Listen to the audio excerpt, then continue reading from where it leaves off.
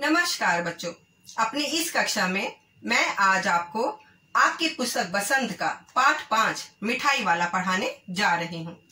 बच्चों, मिठाई वाला गली गली में आकर बेचने वाला एक फेरी वाला है। यहाँ पर मिठाई का मतलब रसगुल्ले गुलाब जामुन से नहीं है। उन मीठी, खट्टी मीठी गोलियों से है जो आपने कई बार खाई होंगी। फेरी वालों के जीवन में किस प्रकार की कठिनाइयाँ आ सकती हैं या कोई व्यक्ति कैसे मजबूरी में यह काम करता है, इसके विषय में हम इस पाठ में पढ़ेंगे। तो चलिए अपनी पीपीटी की ओर। चलिए। तो चलिए बच्चों, हम अपना अगला पाठ शुरू करते हैं। पाठ पाँच, मिठाई वाला। ये एक कहानी है। बच्चों, ये कहानी भगवती प्रसाद वाजपेयी जिसमें कहानीकार ने एक पिता का बच्चों के प्रति प्रेम भाव को दर्शाया है। किस तरह से एक पिता अपने बच्चों को खोने के बाद अन्य बच्चों से अपने ही बच्चों की खुशी तलाश करता है, इस बात का वर्णन इस पाठ में है। पाठ शुरू करते हैं। एक आदमी पहले एक खिलौने वाले के रूप में आता है। वह मधुर स्वर में बच्चों को बहलाने वाला, खिलौने वाला गाकर सुनाता है। सभी बच्चे उसके खिलौनों पर रीझ कर रीझ कर यानी खुश होकर मंत्र मुग्ध होकर अपनी तोतली आवाज़ में भाव पूछते हैं। भाव पूछते हैं अर्थात उसका कीमत पूछते हैं। नन्हे नन्हे बच्चों से पैसे लेकर तथा उन्हें खिलौने देकर वह फिर वहाँ से गीत गाता हुआ चल पड़ता है। राम विजय बहादुर के बच्चे चुन्नू मुन्नू भी एक दिन खिलौने लेकर आए। उनकी माँ रोहिणी इतने सुंदर और सस्ते खिलौने देखकर सोचने लगी कि वह कितने सस्ते खिलौने कैसे देकर गया है। इसके बाद वह छः महीने तक नहीं आया, ना कोई आवाज़ सुनाई दी। एक दिन अचानक छः महीने के बाद नगर में किसी मधुर मुरली बजाकर बेचने वाले का समाचार शहर में फैल गया। वह बहुत सस्ती मुरली बेचता था। रोहनी उसकी आवाज़ सुनकर उसे कुछ जानी पहचानी सी लगी। उसे ख्याल आया कि यह वही खिलौने वाला ही है। रोनी ने अपने पति के द्वारा उस मुरली वाले को बुलाया तथा अपने बच्चों के लिए मुरली खरीद ली। फिर उसे देखकर बच्चों का समूह खुश होकर उसके चारों तरफ़ इकट्ठा हो गया।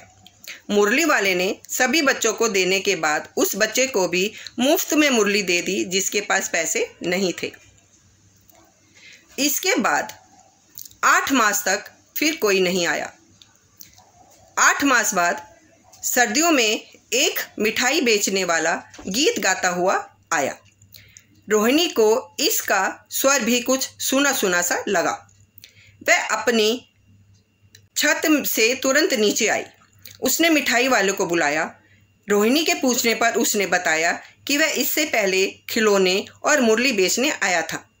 रोहिणी ने उसे पूछा कि वह इतनी सस्ती चीज़ें क्यों बेचता है? मिठाई वाले ने बताया कि वह एक नगर का अमीर आदमी था। उसके दो बच्चे और एक सुंदर पत्नी थी। लेकिन अब कुछ भी नहीं रहा। वह अपनी पुरानी बातें याद करके फूट फूट कर रोने लगा। उसने बताया कि वह उन्हीं बच्चों में अपने उन बच्चों की झलक देखने के लिए वह इस सामान को बेचता है और गलियों गलियों में फिरता रहता है। वह रोनी के बच्चों को, चुन्नू मुन्नू को कागज़ की पुड़िया में मिठाई बिना पैसे लिए ही देकर चला जाता है और गीत गाता हुआ वहाँ से चला जाता है। बच्चों, इस पाठ में कई कठिन शब्द आए हैं। कुछ बच्चों ने अपनी तोतली भाषा में भी बोला है तो आइए हम उनका अर्थ समझते हैं। कठिन शब्दों के अर्थ। मैला,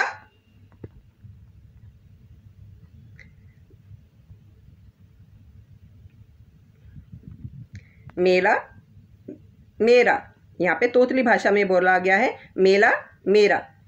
घोला, घोड़ा। माधक मुदित करने वाला, यानी बहुत ज़्यादा नशे में करने वाला। कैछा, कैसा? छैदल सुंदर, अस्थिर, जो स्थिर ना हो।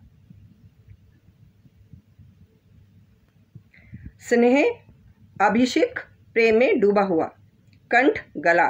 उस्ताद, कुशल। साफा, पगड़ी। मृदुल, कोमल। चिक, घूंघट। स्मरण याद, छज्जा, छत का आगे वाला भाग। सोथनी, पंजा, पजामा, अंतव्यापी, बीच में फैला हुआ। तो इस प्रकार बच्चों, हमने पाठ पाँच मिठाई वाला पढ़ा। अब आप इस पाठ की अभ्यास करेंगे और इस पाठ का पठन पाठन भी करेंगे और इसमें आए हुए कठिन शब्दों का भी आप अभ्यास करेंगे। तब तक के लिए आप मुझे इजाज़त दीजिए। धन्यवाद।